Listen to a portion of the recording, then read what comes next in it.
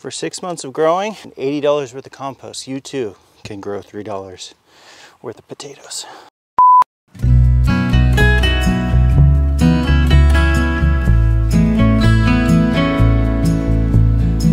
Hey guys, today's just gonna be a little uh, day in the life on the farm, I guess. Not really a farm, but day in the life in the garden with chickens. I'm gonna try to get the last of our garden harvest out of uh, our garden. There's a few like straggler tomatoes, some might be green, some not. I'm just gonna grab them all. And anything else that might be edible that's left in our garden, I'm gonna try to harvest now. I'm gonna be harvesting the onions, potatoes, and tomatoes. That's about all we have left growing in our garden. Hi ladies.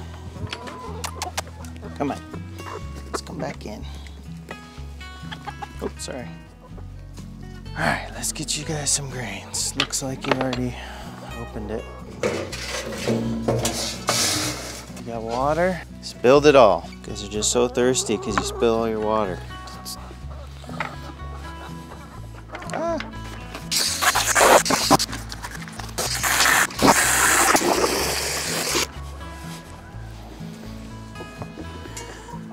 Know, you guys wouldn't be so thirsty if you just didn't spill your water. We didn't get eggs yesterday. We might not have gotten them the day before. We've been really busy this weekend. We went to a little train show for our son, a pumpkin patch, and we also went to an apple orchard to pick fresh apples from the field. The eggs kind of got left. I think our one broody hen is no longer broody. Like she was not leaving the eggs. She was kind of, that's why these don't have nesting materials because she was kicking them down every day. Like we would come in and she would kick the nesting material down to get the eggs out of it. She was collecting the eggs in a corner, trying to steal everyone's eggs. And we don't have a rooster, so like she's broody, but like, honey, that ain't happening. These eggs are never gonna hatch. Long story short, we've got about a million eggs.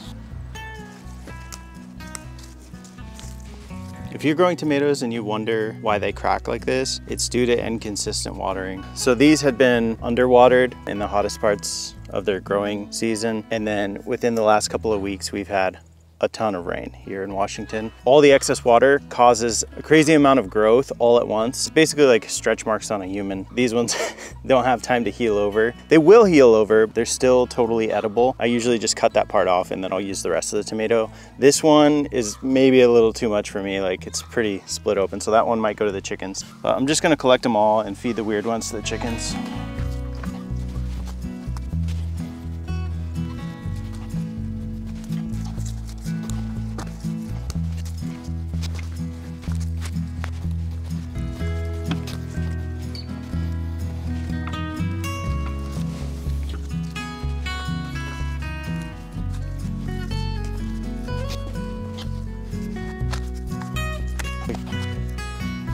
Our chickens are really spoiled. When you throw them tomatoes, they just kind of look at you like, and do you have anything else? Because they're so used to us throwing the leftover tomatoes that slugs have gotten.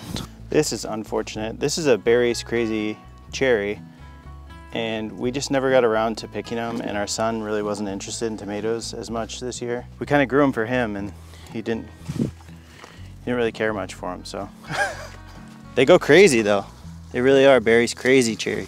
They grow in huge, huge clusters like this, but all of these are weird already. Okay, well, that's a big tomato harvest. I think we're gonna have to bring that in and come back out. So here's the harvest for the chickens. I'm gonna peel or shake off uh, all the stems and leaves, and they're gonna have all the, the broken open weirds that uh, I didn't feel like we would want to eat. They can't eat the stems or the leaves of the tomato plant. They're actually toxic to chickens, so make sure you don't feed them the actual plant, just the tomatoes. And you're gonna see right now that they don't care about tomatoes. Like, not really anyway. See, they're just trying to get past it. They're like, let me get grass. Okay, okay, okay. No, no, no, no, no. No, no, no, no. No, no, no. We gotta go back. We gotta go back. It's chaotic. Come on. You guys are ungrateful. Spoiled. I'll give you some grass too, okay? Geesh. Typical reaction from our chickens. They're just like, eh, what else you got? I don't care about the tomatoes. I've had a million tomatoes. We got some onions. Our onions didn't do terribly, but they didn't do great. I don't think we added enough compost for these, and we didn't fertilize them enough throughout the growing season. They did all right though. We're supposed to be probably about double the size. Of, I think next year we're gonna have way better luck with our onions.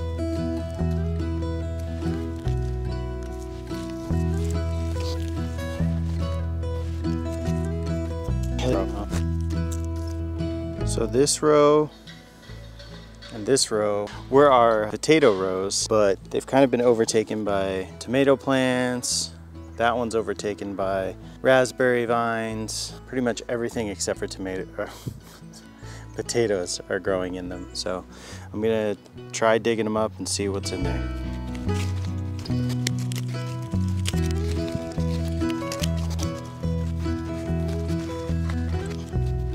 Next year we're gonna do potatoes differently.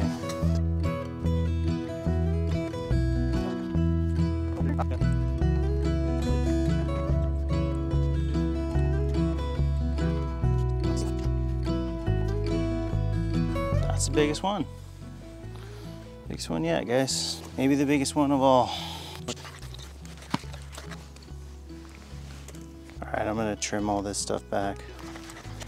Those are potatoes. Wow. Ah, got a decent one.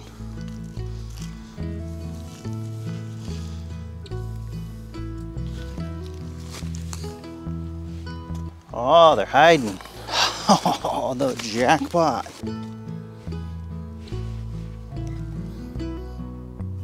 All right, guys. Well, these are like tiny, but at least there's more than one per plant. Something went right here. Aha.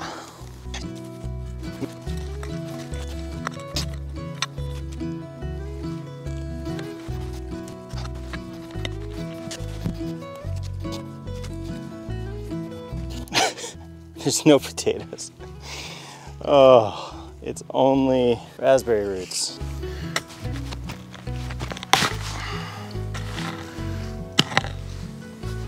Ah. That's why you're not supposed to use these for harvesting potatoes.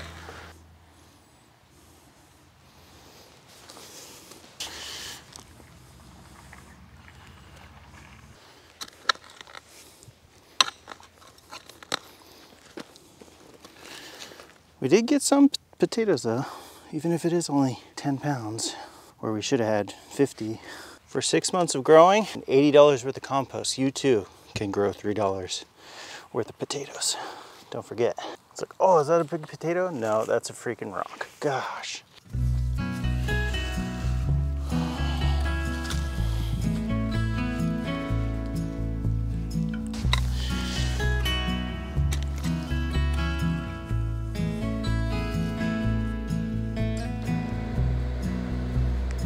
Harvesting pumpkins, all six of them. Maybe we have more than that. One, two, three, four, five, six, seven. Actually, plus the whites, eight, nine, ten. I'd say that's a successful pumpkin year. I really wouldn't actually because that takes up two full garden beds. so next year we're not gonna do pumpkins in the garden. We're gonna do a pumpkin patch elsewhere on the property. As of now, I'm gonna be harvesting these suckers. All right, let's see if the slugs got them. I have no idea the variety of pumpkin, but it's cute. We took all the tags. All right, so that's cute. Adorable. Look at its curly little stem with its little curly cues. Perfect. It's absolutely perfect. This one's not done yet, I don't think.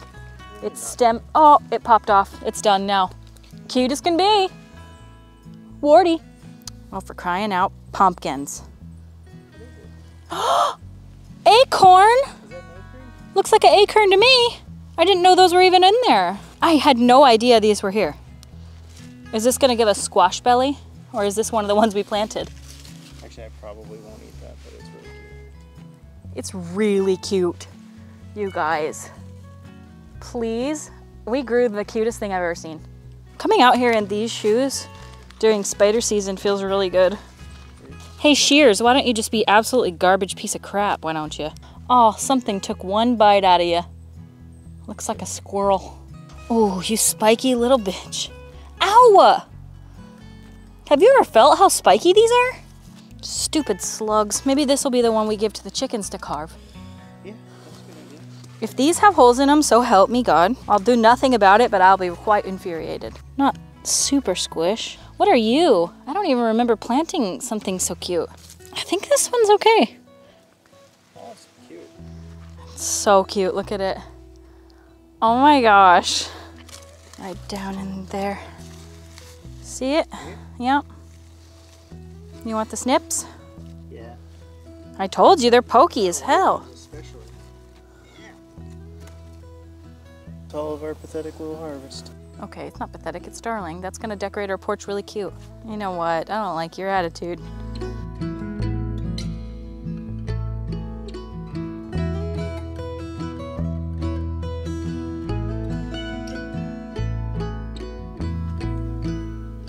Here's our pumpkin harvest for the year. Not too shabby. It's better than last year's, I think. I think we had bigger pumpkins last year, but Less. less. And Next year will he be even more. Yeah, and bigger. So, yep. Cute. For crying out, Pete. Yay! it's so cute. This one's my favorite. Little acorn. Yeah. Okay, guys, and that is our pumpkin harvest. Is it the cutest thing you've ever seen or what? I think so. We didn't have to buy a single one of these pumpkins. That's very exciting. All right, guys. This is everything I was able to uh, harvest today, collect out of the garden. I think this is probably going to be the last time getting anything edible out of the garden. So that's why I just grabbed all the green tomatoes and all the potatoes that I could. Onions didn't really do well, but that's everything. Probably end up dehydrating a lot of the onions. The tomatoes will probably freeze, and with the potatoes, we'll probably use some of them this week, and the rest we will freeze. That's gonna be the full video. Let me know in the comments, like any kind of recipes that I should be making with these. Mostly we're just making tomato sauce with the tomatoes, and with the onions, we are um, dehydrating them into onion powder. We need different ways to preserve food because we have like 80 pounds of tomatoes right now. So let me know in the comments any ways uh, we can preserve tomatoes or potatoes or onions. So. I'm gonna show you the coolest tree because I know you guys are all on the edge of your seat to see the coolest tree. Yeah.